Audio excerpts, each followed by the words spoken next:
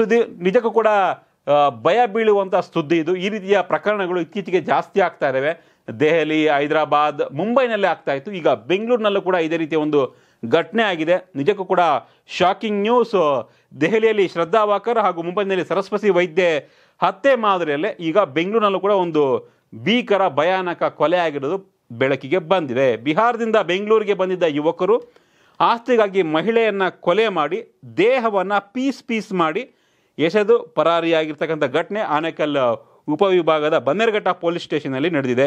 ಆರೋಪಿಗಳ ಪೈಕಿ ಇಂದಲ್ ಕುಮಾರ್ ಈಗ ಪೊಲೀಸರಿಗೆ ಸಿಕ್ಕಿ ಬಿದ್ದಿದ್ದಾನೆ. ಮೃತ ಮಹಿಳೆಯನ್ನ ಗೀತಾ, ಐವತ್ನಾಲ್ಕು ವರ್ಷದ ಗೀತಾ ಅಂತ ಗುರುತಿಸಲಾಗಿದೆ. ಜೂನ್ ಒಂದನೇ ತಾರೀಕು ಮಹಿಳೆಯ ಮೃತದೇಹ ಪತ್ತೆಯಾಗಿತ್ತು.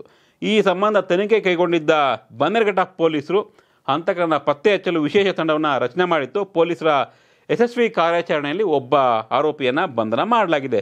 ಇಷ್ಟಕ್ಕೂ ಏನಪ್ಪ ಇದು ಕ್ರೈಮ್ ಸ್ಟೋರಿ ಅನ್ನೋಂತ ನೋಡೋದಾದರೆ, ಬಿಹಾರದಿಂದ ಬಂದಿದ್ದ ಯುವಕರು ಕೊಲೆಯಾದ ಮಹಿಳೆ ಗೀತಾ ಮನೆಯಲ್ಲೇ ಬಾಡಿಗೆಗಿದ್ದರಂತೆ ಕೊನೆಗೆ ಮನೆಯವರನ್ನು ತಮ್ಮ ಮನೆಯನ್ನು ತಮ್ಮ ಎಚ್ಚರಿಕೆ ಮಾಡಿಕೊಡುವಂತೆ ಆಕೆಯನ್ನು ಒತ್ತಾಯಿಸಿದರು. ಅದಕ್ಕೆ ಒಪ್ಪದೇ ಇದ್ದದಕ್ಕೆ ಮಹಿಳೆ ಗೀತಾವನ್ನು ಕೊಲೆ ಮಾಡಿದ್ದಾರೆ. ಈ ವಿಚಾರ ಹೊರಗೆ ತಿಳಿದಂತೆ ನೋಡಿಕೊಳ್ಳೋದಕ್ಕೆ ದೇಹವನ್ನು ಪೀಸ್ ಪೀಸ್ ಮಾಡಿ ಕಟ್ ಮಾಡಿದ್ದಾರೆ. ಮೃತದೇಹದ ಭಾಗವನ್ನು ತುಂಡು ತುಂಡಾಗಿ ಕತ್ತರಿಸಿ ಅಲ್ಲಲ್ಲಿ ಎಸ್ದಿದ್ರಂತೆ. ಪ್ಲಾಸ್ಟಿಕ್ ಕವ್ನಲ್ಲಿ ಕತ್ತರಿಸಿದ ಭಾಗಗಳನ್ನು ಬೇರೆ ಕಡೆ ಸಾಗಿಸಿದ್ದಾರೆ ಮಹಿಳೆಯನ್ನು ಕೊಲೆ ಮಾಡಿದ ನಂತರವೂ ಏನೂ ಆಗಿಲ್ಲ ಎನ್ನುವಂತೆ ಆರೋಪಿಗಳು ಒಂದು ದಿನ ಕೆಲಸಕ್ಕೆ ಕೂಡ ಹೋಗಿದ್ರು. ಅವರಲ್ಲಿಬ್ಬರು ಕಿರಾತಕರು ಶವದ ಮುಂದೆಯೇ ಕುಳಿತು ಊಟ ಕೂಡ ಮಾಡಿದ್ರು ಅನ್ನೋ ಒಂದು ಮಾಹಿತಿ ತನಿಖೆಯಲ್ಲಿ ಸಿಕ್ಕಿದೆ.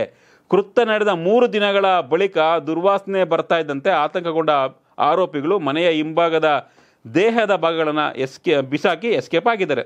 ಅದರಲ್ಲಿ ಮಹಿಳೆಯ ತಲೆ ಪತ್ತೆ ಆದರೆ ಬನ್ನೇರುಘಟ್ಟ ಅಲ್ಲಿಂದ ಒಂದು ಕಿಲೋಮೀಟರ್ ದೂರದಲ್ಲಿ ಬಂದನಘಟ್ಟ ಬಯಾಲಜಿಕಲ್ ಪಾರ್ಕ್ ಅರಣ್ಯ ಪ್ರದೇಶದಲ್ಲಿ ರುಂಡ ಪತ್ತೆ ಆಗಿದೆ ಅಂತೆ ಹೀಗೆ ಎಲ್ಲ ಆಗಿದೆ. ಈ ವಿಶೇಷ ಅಂದ್ರಪ್ಪ ಇನ್ನೂ ಭಯಾನಕ ಅಂದರೆ ಕೃತ್ಯಕ್ಕೂ ಮುನ್ನ ಅತ್ಯಾಚಾರ ಆಗಿದೆಯಾ ಅನ್ನೋದ್ರ ಬಗ್ಗೆ ಪರಿಶೀಲನೆ ನಡೀತಾ ಇದೆ. ಈಗ ಸದ್ಯಕ್ಕೆ ಒಬ್ಬರನ್ನ ಅರೆಸ್ಟ್ ಮಾಡಿದ್ದಾರೆ.